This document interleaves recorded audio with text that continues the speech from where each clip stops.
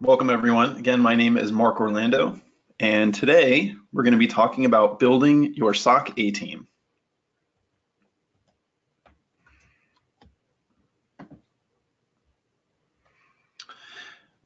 The reason that I wanted to take some time to talk about this subject today is the foundation of any good security team is people. Good ones are really hard to find, they're hard to train, they're hard to retain.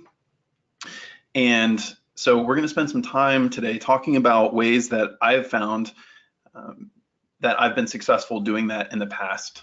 Before we get into that, just a few notes about me. I have about 19 years of experience in security operations. I started out as a security analyst myself and worked my way up to team lead, manager, executive. I've built and run and assessed security operations teams in both the public and private sectors.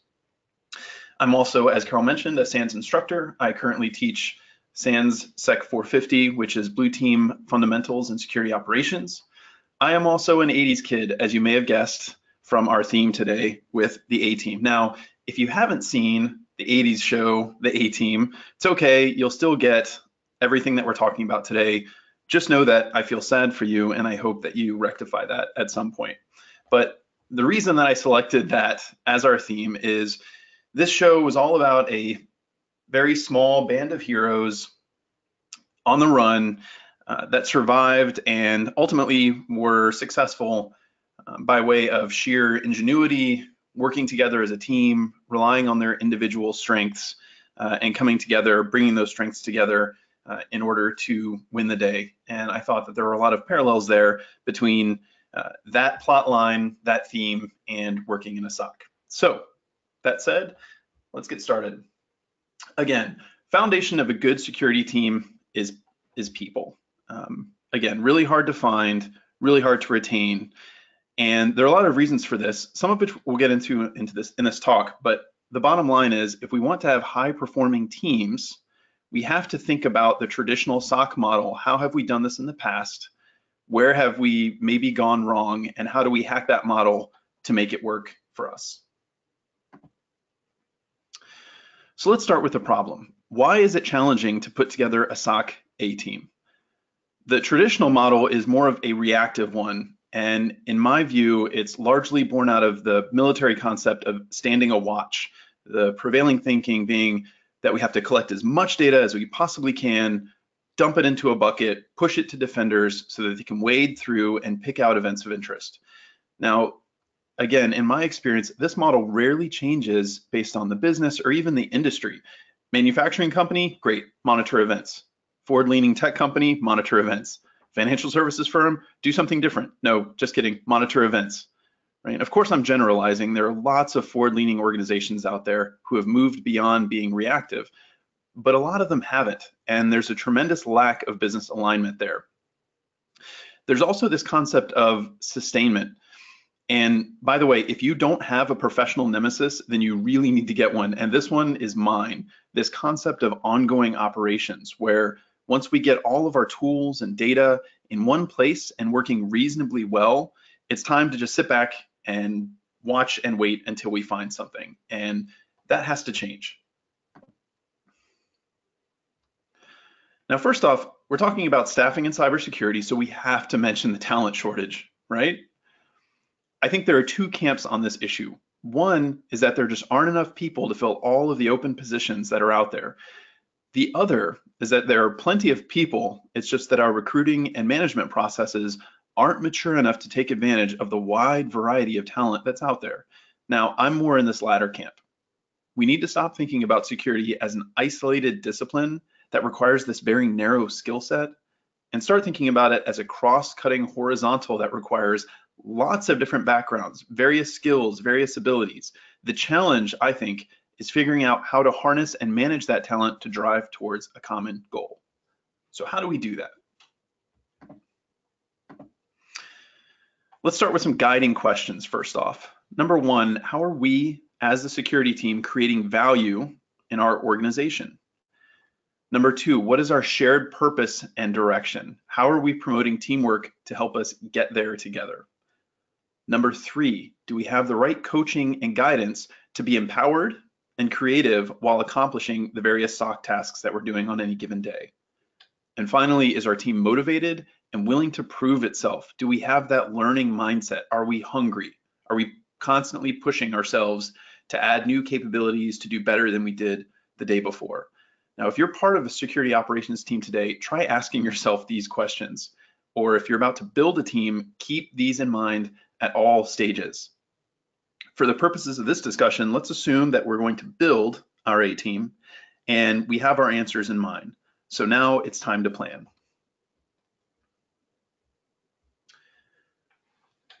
In the planning stages, uh, I'm generalizing here, and obviously there's a lot more that goes into building out an entire security operations team.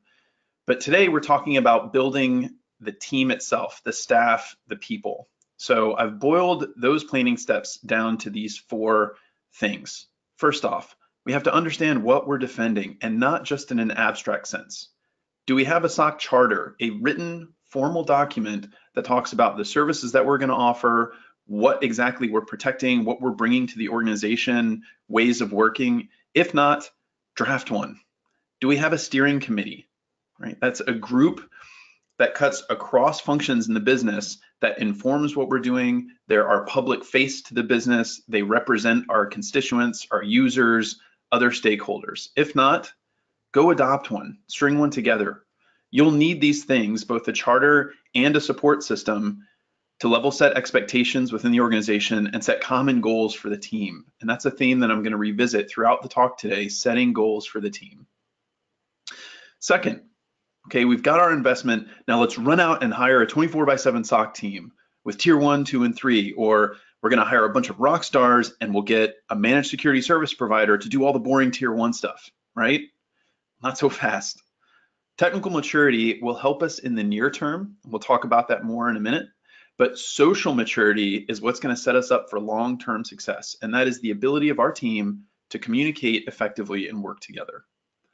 Given that, what's the right balance in terms of team size and structure? What's that right combination of skills and experience and new blood that we want to bring in and train up? Internal versus external? What's the right staffing model to get us there? And it's going to be different depending on what it is you're trying to do, what your charter looks like, what your mission looks like. Maybe you don't need 24 by 7 coverage. Maybe you aren't ready for that external partner yet. So important questions to ask yourself. Number three, how are we going to measure our team? Now in security, we all hate bolt-ons, right? Metrics are no different. They can't be bolted on after our team is up and running. So what are the me measures that you want to focus on? And what levers will you have to impact those measures over time? We'll also talk more about metrics in a few minutes. And finally, our A team probably won't operate in a vacuum. We'll be part of a multi-team structure with interdependencies on infrastructure, application development, legal, comms. What will you need from these groups? And what are you prepared to offer them in return? What soft skills will your people need in order to do that? What are our expectations? Right, let's talk more about people for a minute. in my experience, there are generally two approaches to building a new team. There's a talent-centric model and a mission-centric model. These two aren't mutually exclusive. Obviously, you need talent and you need to be focused on the mission. But I break it down this way because I find that organizations often invest too much in one at the expense of the other. Let's take a look in more detail. I want you all to think about whether or not you may be too far into one of these two camps. First, a talent-centric approach is basically finding very smart, very capable people, usually a smaller group, putting them in a room and letting them go to work. Minimal structure, minimal operational planning. I've got rock stars, they're gonna produce no matter what, magic's gonna happen.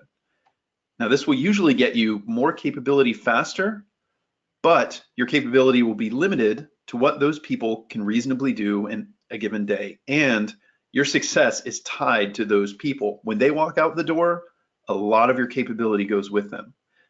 Then on the mission-centric model side, which is what you often find in government contracts, very large enterprises, you see a lot of this kind of approach. There may be lots of structure and the leadership may even dictate how they want you to work, how you're gonna do analysis, how you're gonna use the tools, what exactly you're going to produce, what your deliverables are. And this will get you more control and transparency, but oftentimes it'll also result in less flexibility and you risk missing the forest for the trees. So the team might do exactly what you're asking them to do. I want you to work these alerts, work these events, open these tickets, but no more than that. Not a lot of innovation in these kinds of environments. Again, we want to be somewhere in the middle. We need some structure and oversight to establish common goals, but plenty of room to empower people and let them be creative, do what humans do best, right? So we have our goals and structure. We have some sense of the compromises we want to make in terms of oversight and mission focus versus talent and creativity. So let's talk about getting out there and recruiting our magical unicorns. When recruiting, we want to look for a few specific things. We need to look for aptitude, attitude, desire, and diversity. Diversity of thought, diversity of background, skill set, experience. And while we may need some experience in, say, specific tools, a specific network security monitoring platform, a specific SIEM, and so forth, we don't want to rely too much on that narrow set of skills we also don't want to over rely on things like credentials, certifications, specific experience, like have you ever done this specific technical task in this tool set? And I'm going to kind of sidestep the certification certification minefield. I think certifications are very useful to have, right? But what we don't want to do is use any one data point here to right out of the gate eliminate potentially promising candidates. We also want to avoid things that can be toxic in a team environment, like overinflated egos, possibly misrepresenting skills or experience or abilities. I know no one in this webcast is like that, but those people are out there. Uh, we need to look for those red flags. Now, let's dig into this a bit more from the perspective of the interviewing process. First off, we want to avoid binary right wrong questions when we're interviewing candidates. They're often really subjective. They can result in elimination of otherwise very qualified people. Some people just don't answer questionnaires or take tests or do those kinds of binary evaluations well, but they can still make great analysts, great team members. So instead, we want to focus on core skills like problem sensitivity, critical thinking, ordering information. Focus on situational experience over specific technical experience where possible. Now, I'm going to pause for a minute and say that when it comes to technical evaluations, I am a huge fan of giving out technical evaluations as an initial screening step. So something that I've done in the past is say, take a set of PCAPs or a technical problem and give those out in advance of a later interview to let a candidate kind of show off their technical skills or maybe at least show off their ability to do a little bit of research and try to work their way through a problem, you know, write something up. At the very least, you can maybe get a window into where they are so you know how to better evaluate them. But again, I don't see those things as a pass fail kind of gate. It's just another useful data point as a part of the process. So here on this slide are is an example, excuse me, of some questions that we can ask to evaluate a candidate, candidate's critical thinking skills, for example. And this is from a paper that I'll reference again here in a bit that was done um, by the Department of Homeland Security. And I thought this encapsulated the kinds of situational questions that I really like to ask. So again, example, question on critical thinking, describe a process, whether that's an analytic process, your incident response process, you know, describe a process that you did in a past role and look for strong responses. And strong responses are going to be characterized by being very specific. The candidate should explain the steps in the order that they were designed to be carried out. They should also demonstrate an understanding of the rationale behind the process. Why did we do it this way? What were we trying to achieve? You should also look for signs that they actually followed the process or else had a very compelling rationale for why they deviated. I never did this particular step because I found it was really ineffective, created a lot of false positives.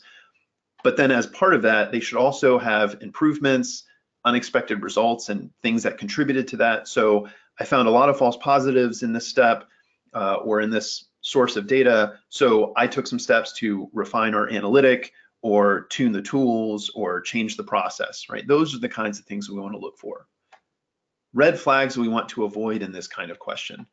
Overly broad answers, vague, disconnected explanation of the process. Well, we uh, we looked at these events and then maybe we would check like one or two tools and I'm not really sure. Uh, uncertainty about the answers.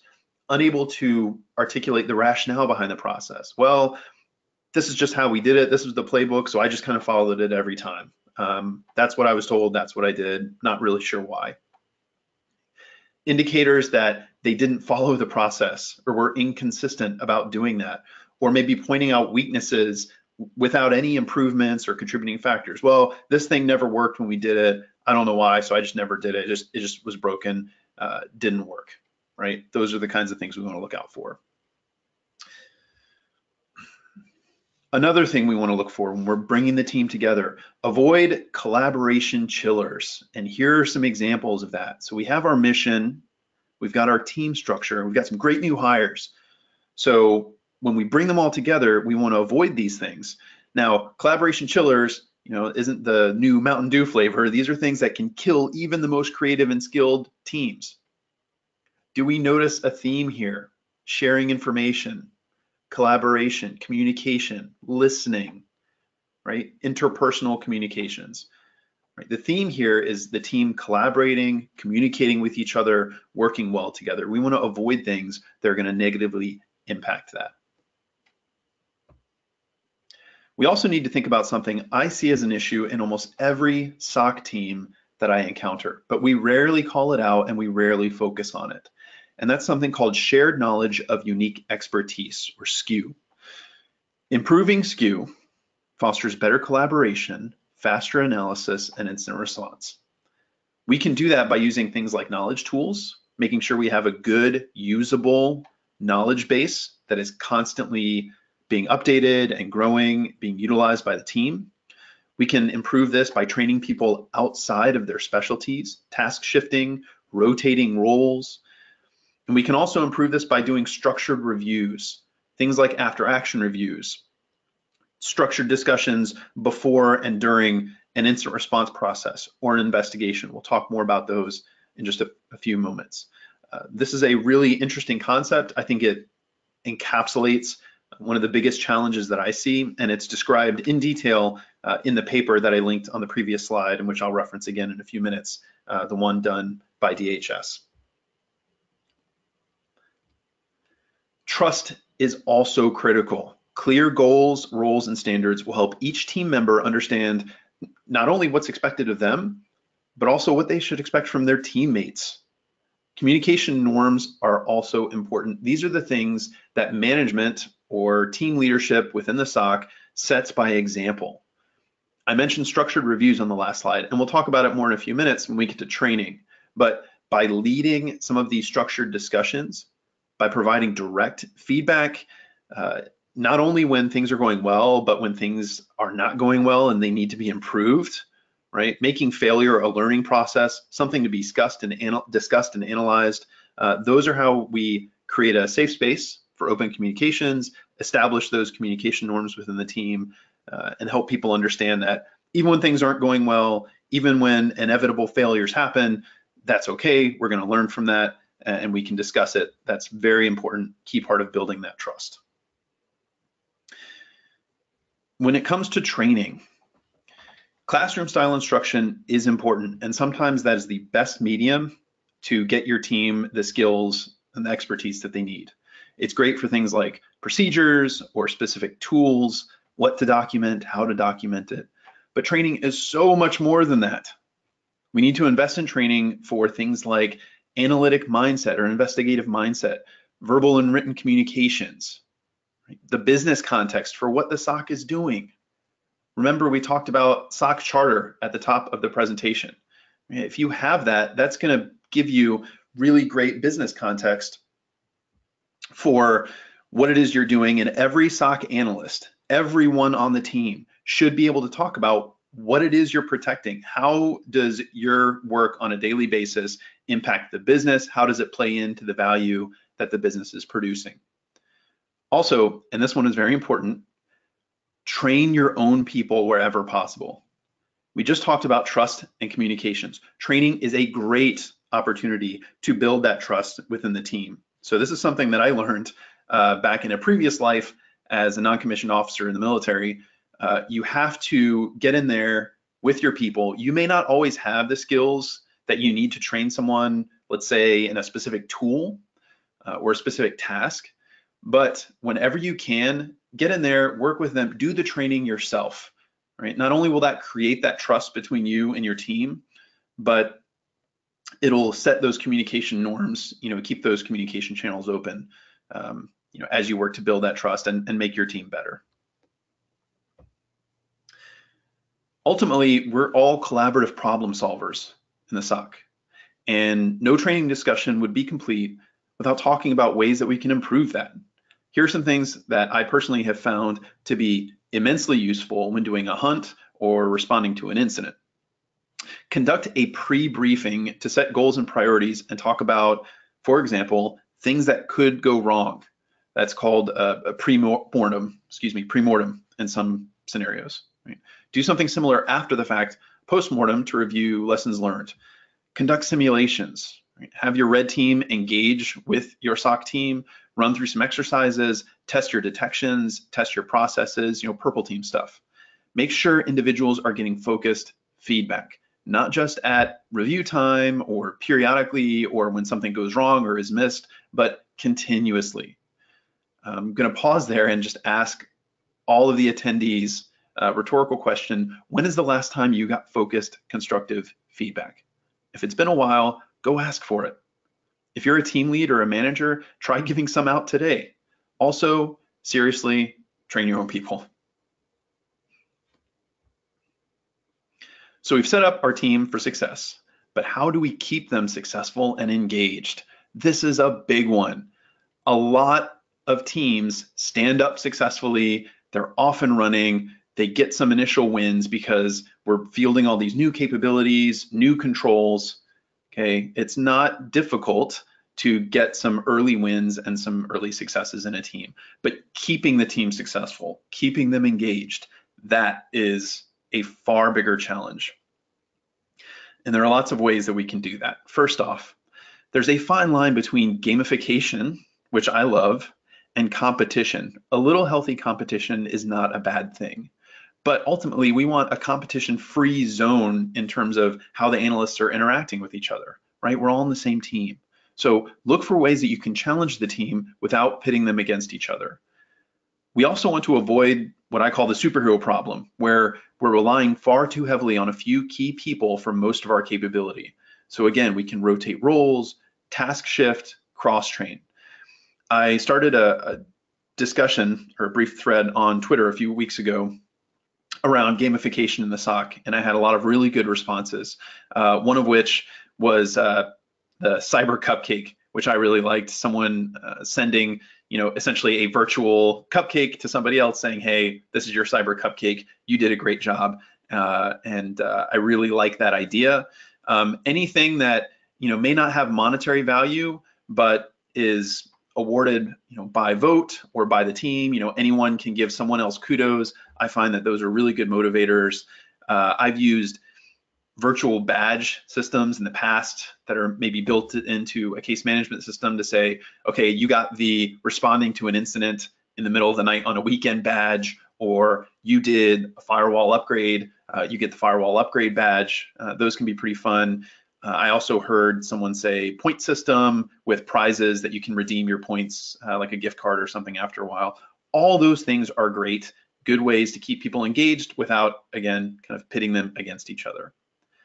So think for a minute about incentives. Are your metrics incentivizing the right behaviors? Are you incentivizing collaboration? Uh, and then finally, and this is something that we talk a lot about in SEC 450, uh, which I really like uh, when we talk about keeping things fun and engaging and exciting in the SOC. And that's the Eisenhower principle. Um, this is where tasks can be urgent or not urgent, important or not important. And the, the main idea here is we want to focus on the things that are important, make time for things that aren't urgent but may still be important. Um, and in the next slide, I'll show you, this is kind of what it looks like. Um, visualized as a matrix here where the upper left quadrant are things that are both important and urgent. Uh, these examples aren't necessarily specific to security operations, but things like high confidence critical events or indicator and warning data that fires off, right? You know it's good. You know there's an issue, an attacker is moving laterally through the environment, they're exfilling data. And these are urgent things that are coming up that you can't, um, that can't wait. You can't deprioritize them. There are also things that might be urgent, but not particularly important. You have a false positive alert that's firing off and it's critical and it's filling up your screen. That is, that is urgent, but may not be quite as important as other um, more critical things that you need to work on. So um, that upper right quadrant, things that may not be emergencies, may not be urgent, nothing's on fire, but is still very important. Those are the things we want to make time for. And here uh, we've called out things like you know personal health, exercising, spending time with family and friends. In a SOC context, I would say those are things like building your skills, right? Providing feedback to each other, doing training, uh, taking a look at our infrastructure, making improvements, uh, designing and implementing automations, all those things may not be urgent, but they're still critical to long-term success. We need to make time for those things. Now, one of my favorite topics in security operations, metrics, and I'm sure you're all excited about this as well. Ideally, we've got two types of metrics. One set that is internal to the team and measures a lot of the things that I've been talking about today, communication, collaboration, performance of your technology, individual performance of your analysts, and then one set of metrics that's external to the team. Things like time to detection, time to response, you know, this is the, the value that you're bringing to the business. Now we've got within those two groups, different types of measures. There are key performance indicators, which instrument our operation, things like coverage or uh, threat visibility, control we have over our assets, uh, numbers of things that we're responding to, how we're spending our time, those are all KPIs. I really like OKRs, um, which are objectives and key results. Uh, this is a concept that's uh, essentially describes kind of meta metrics, which tie your operations to strategy. So how it works is, is this.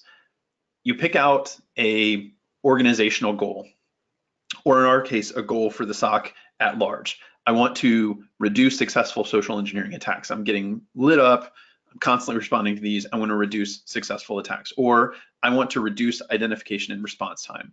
Uh, that's going to be an objective that has a finite end date. I want to improve by this much, by this time. Maybe it's monthly, maybe it's quarterly, um, but it's time boxed. And then I want to identify key results that will help me meet that objective and then monitor, measure those results to make sure that I hit it. Uh, so that's a good way to get out of that kind of day-to-day sustainment mindset and say, here are specific measurable gains or improvements that I want to make that are tied to higher level strategic objectives, and I'm going to measure my progress towards those. So I'm a big fan of using both KPIs and OKRs. KPIs would be more ongoing uh, operations uh, management and monitoring. OKRs, again, more finite. Uh, think of them like sprints. Um, you know, these are things that we want to accomplish in a specific time frame. Watch out for bad metrics. Bad metrics are things like color-based metrics. We are red on this without any quantitative data to back that up or qualitative data to back that up, right? What does red mean exactly? Red, yellow, green, uh, those are fine for visualizing data, but if we have metrics that are straight up colors without data behind them, uh, those are not the best metrics. They're not very measurable. Uh, they're very subjective. Things like volume. We generated a million alerts yesterday and we generated uh, 9 million alerts today, right? What do those things tell you? They don't really tell a story. Uh, it presupposes that all that is good data, that those are good alerts, and we have no way of knowing that. So again, things that are subjective don't really tell a story. We want to stay away from those. Measuring people. Evaluating people can be a sticky topic. The goal is to inform, to foster learning, help our team mature, not to penalize. We want to avoid quantitative measures. You analyst only worked three cases last week, or you only looked at 80 alerts yesterday. Uh, again, that doesn't really tell a story. It doesn't help us identify where people can improve or where they need to maybe train or areas they need to focus on.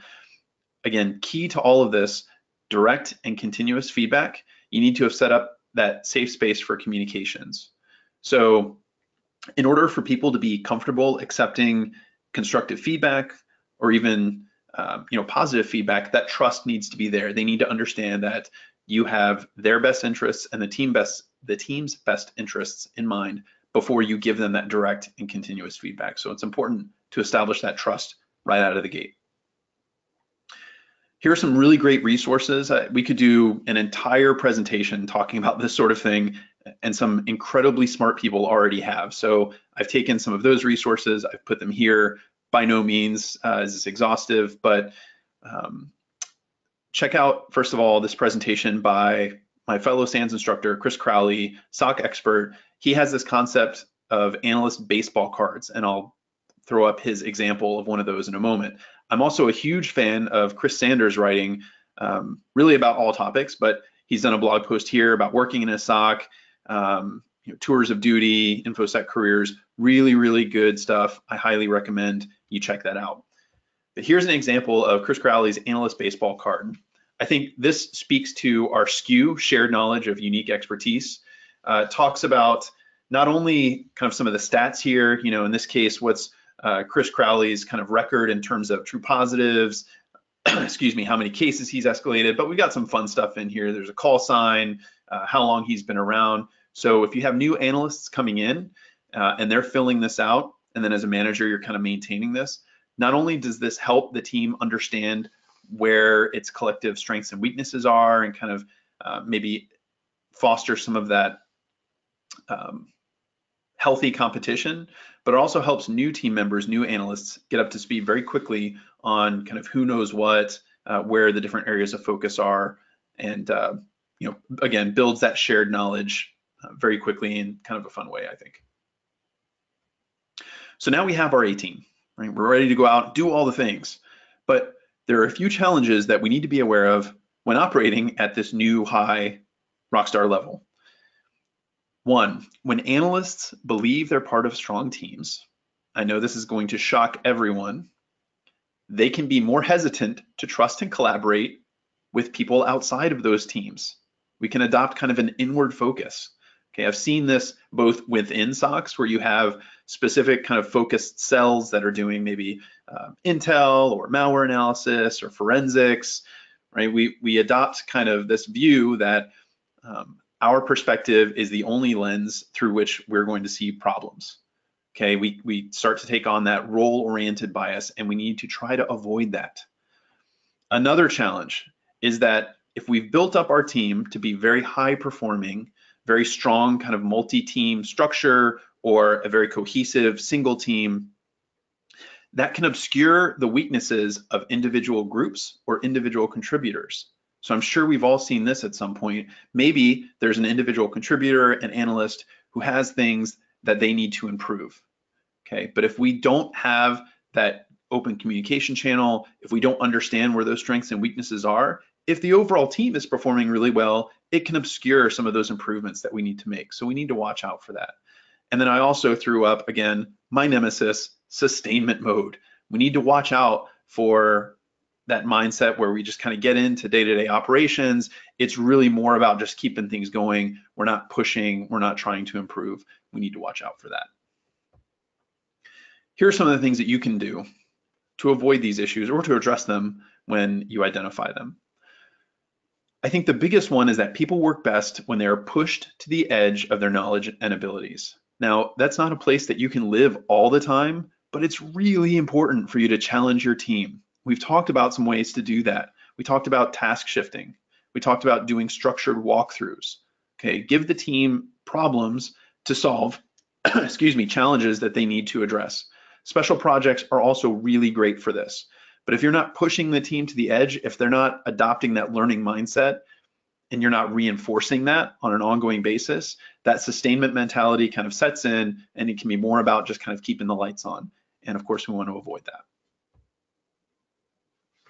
Now, as we approach the end of our presentation, I wanted to share some case studies. These are scenarios that I've been a part of in the past, uh, again, building out different teams or different capabilities and how some of the things that I've talked about today kind of played into that. So I wanted to share just a couple of those scenarios with you. First up was a new SOC that I built for a certain executive branch agency. Hopefully I'm not giving anything away by the clip art in the picture, but this was back in 2008 timeframe. It was a small but very, very high profile agency with a very technical customer. Lots of brand new technology that, in fact, the customer had deployed a lot of it. A brand new team brought in to staff a 24 by 7 security operations center. Now, right out of the gate, we had some big challenges. The customer wanted a talent oriented team. They wanted rock stars in there. Remember, very technical customer. But the team had been staffed, I should add, prior to my arrival, in more of a mission centric model. So if anyone on the call has worked in the federal sector and done security operations there, you know that they place an emphasis in many cases on prior experience in Fed, things like security clearances, other hoops that are not necessarily technical focused that you had to have been through in order to be qualified to join the team. So we definitely had a customer in an environment that required that talent centric model, but we staffed according to more of a mission centric model. It was more about experience in the specific industry in the specific kind of environment. We also had a very limited budget in terms of tools and other things. So there wasn't a lot left for things like formal training and, and other expenses. So bit of a challenge there. So with everything we've talked about today in mind, here was my approach. Given that it was a brand new team, the first thing I had to do was set some specific goals and objectives for that team.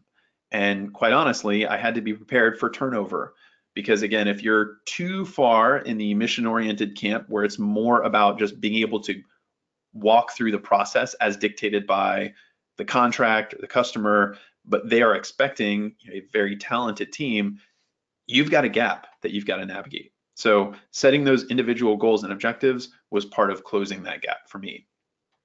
We also did a lot of desk side training, a lot of cross training to build team cohesion, which you really need to do with any new group. And we included the customer in those activities. This included some of the structured walkthroughs that we've already talked about, taking incidents, making sure we set aside time to talk about those, talk about how our new processes held up in those situations, areas that we needed to improve, communications that we needed to improve. We also emphasized quick wins. Okay? Again, really important with any new capability. We expanded our visibility this day. We deployed this new tool. We set up this new process and now we're able to achieve things that we weren't before. So, so important to highlight those things.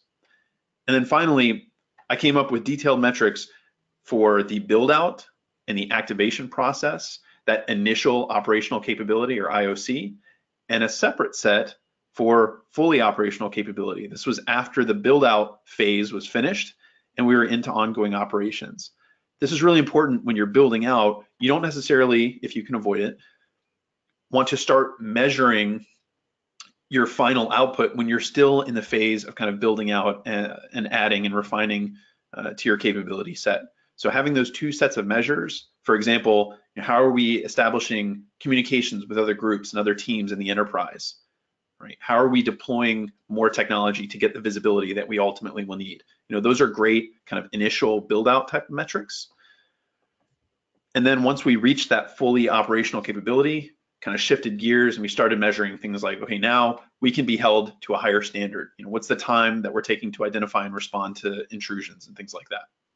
So being able to have those two sets of metrics was really, really helpful uh, in providing transparency to the customer and also kind of measuring ourselves on the right things. Second case study, fast forward a few years. Uh, in 2013, I built um, a managed detection and response service, an MDR.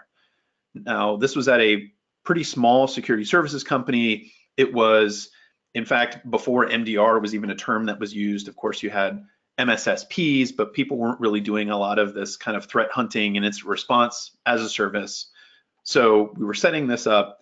Lots of challenges here. We had very clear goals of where we ultimately wanted to be. No, it says few, but really no processes to speak of. We were building up from scratch. What does a service like this look like? What do we need the team to do? Not a lot of quality checks or performance standards or team structure. And ultimately, with a new service like this, the customer is going to drive your requirements. So you have where you think you're going to go, where you think you're going to get, but customer feedback is going to maybe change those things, uh, give you a lot of twists and turns that you didn't really expect. So how did we build our A team for the MDR? First off, we had to opt for a talent-centric model. So we had an idea of our mission and what we wanted to accomplish, but it was still a little bit fuzzy and we knew that customer requirements were going to shift. We definitely knew that we needed lots of capability fast. So we focused that talent that we were able to bring in through good key performance indicators, KPIs, constant communication, constant.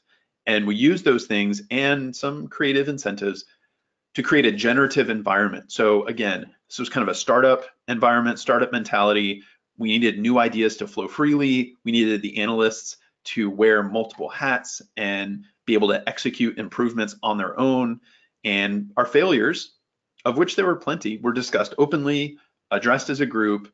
Um, we created social situations where the team could interact uh, and kind of build a, an internal culture and, and, become a more cohesive group. So we ended up being being very successful. We ultimately sold that as part of an acquisition. Um, but uh, it was a lot of work to get it going. And again, this is more of a small talent centric model, and that's just where we had had to start in that scenario.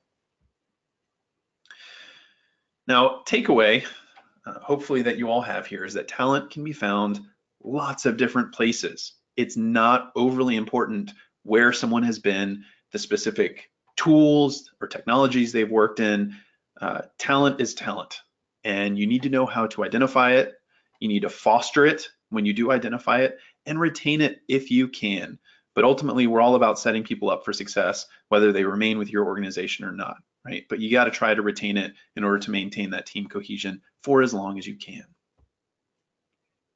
The difference between an A team and everyone else is not how sharp somebody is or how elite some, somebody's skills might be it's more about social maturity of the team. How well do they collaborate and work together? How cohesive is the group?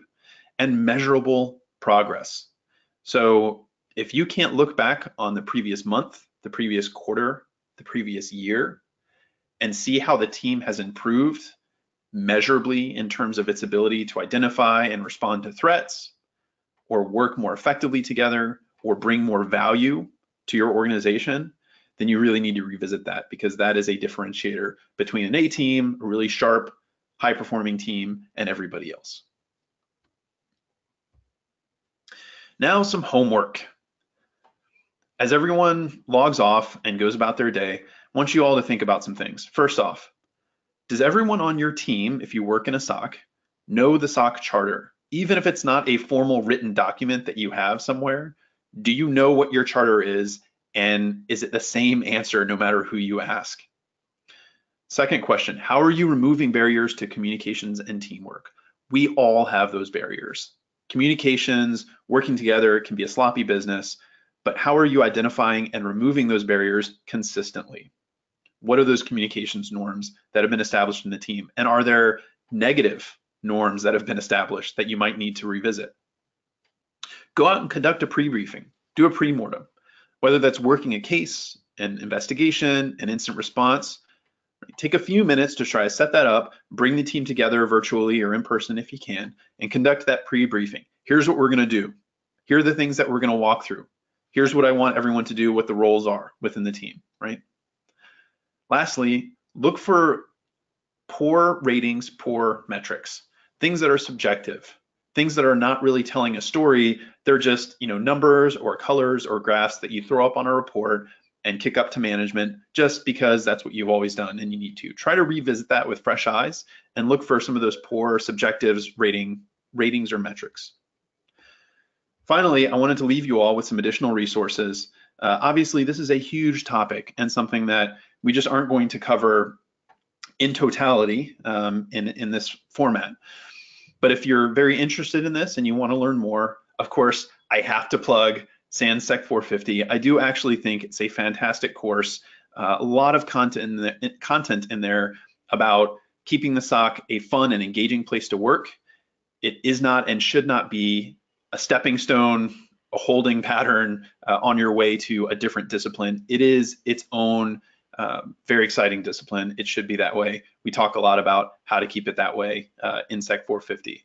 We also have the SANS SOC Summit presentation archive. There's tons of great stuff there. A lot uh, of, of good content from very smart people working the field about working in a SOC and building teams and running teams. Uh, I referenced this paper quite a bit today, Improving Social Maturity of Cybersecurity Incident Response Teams. Again, this was the paper that was commissioned by the Department of Homeland Security. Uh, lots of different groups and organizations contributed, including George Mason University uh, and several others. It's a fantastic paper, um, handbook really, on how to help teams work more effectively together, uh, specifically cybersecurity teams.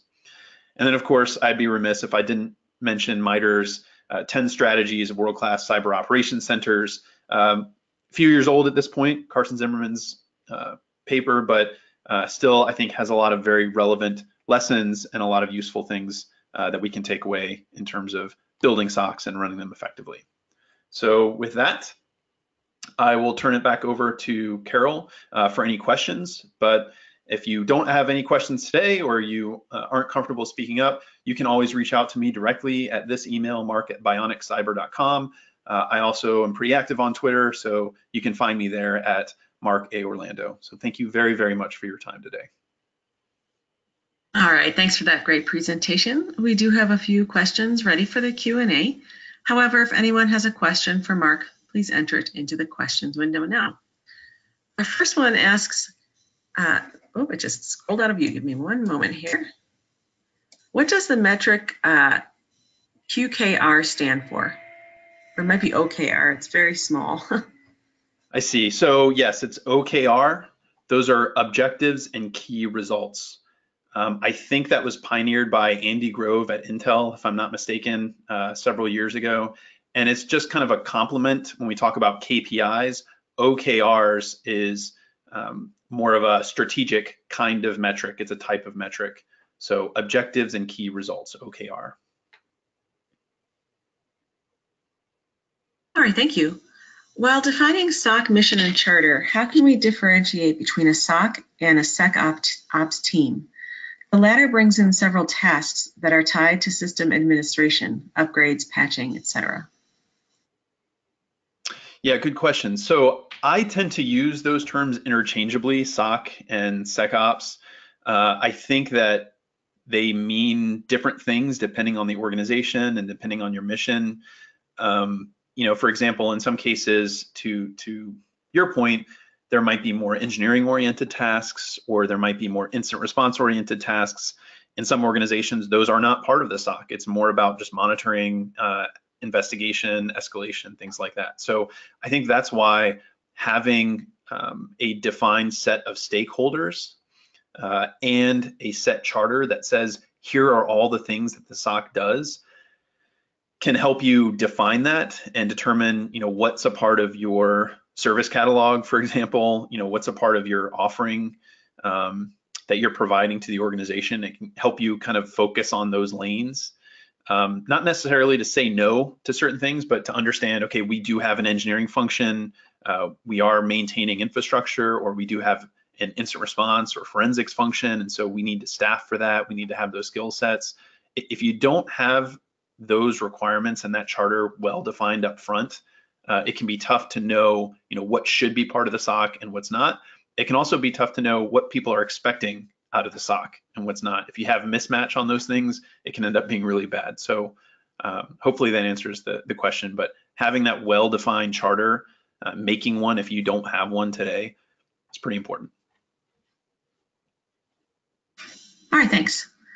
Would you rather have the incident responders or monitors do the SecOps related tasks as well to build the SKU, SKU SKUE, or have a separate team within the SOC that is responsible for the SecOps related tasks?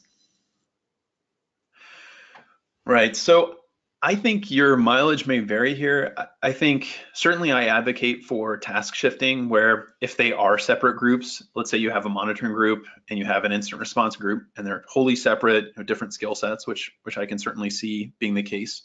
Um, I'm a big fan of having sort of different tours of duty where uh, folks on the SOC team might spend some time on the incident response group and vice versa. Um, I think that just kind of builds awareness and understanding uh, of work outside of your world. So if I'm focused on monitoring and I'm throwing stuff over the fence to the IR team, it might help my perspective to spend some time over there and understand what they're expecting, the challenges they deal with, what it looks like when they get the things that I throw over, over the fence. Um, in another sense, I do think that having a group that is strictly focused on monitoring and escalation only, not doing any incident response tasks, uh, I tend to uh, try to avoid that. I think there's no reason that the folks that are doing that monitoring and investigation, why they can't take on some of the incident response capabilities. I just think that's more efficient. I think it's better to keep those folks engaged um, and give them more of a career path. So I'm generally not a huge fan of keeping those completely separate even though you might not have your SOC analyst doing all of the incident response. Um, I do like some cross pollination there. Even if you're not doing that, I think task shifting and, and moving people around, even if temporarily, is a good thing. All right, thanks so much. How do you advise SOC managers to react to the lack of performance as individuals? Uh, I'm sorry, lack of performance of individuals, as this can be tricky in today's job market and can differ with managers who are interested in keeping the jobs filled. Yeah, um, that's that that is a challenge, um, and I think it comes down to communication, communication, communication. Um, this is why it's so important when you're hiring to set expectations, be as clear and as specific as possible. You know, here are the things that you need to be able to do.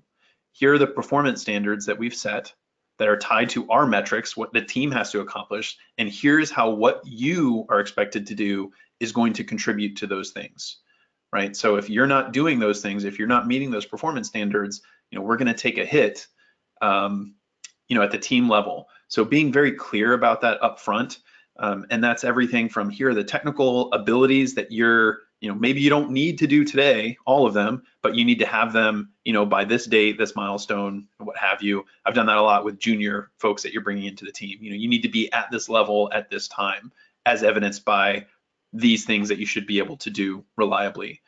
Um, and then ongoing communications. So a lot of times we all get busy I'm sure we've all been in jobs where the only time we talked to our managers about performance was at our review. And, you know, there are a lot of surprises in there. So I'm a firm believer that when you sit down for those kinds of formal annual or, um, you know, twice annually reviews, nothing should be a surprise, right? You should have had discussions, anything that you need to improve, uh, areas where you're not meeting performance standards, you should be well aware of those because you should be talking to your manager, your leadership all the time about where you're at. You know, hey, we had this case, you worked it. Here are some of the things I saw in there that, you know, areas where I think you can improve, and, and here's, you know, what we should do to to get you where you need to be. So I think it just comes down to having that that open communication, talking early and often. Um, and it's still very challenging, even if you're doing that. But I think you can avoid a lot of um, heartache and frustration if you're at the very least communicating on a regular basis. All right, thanks. Mark, how much do you think military experience either helps or hurts hiring SOC analysts?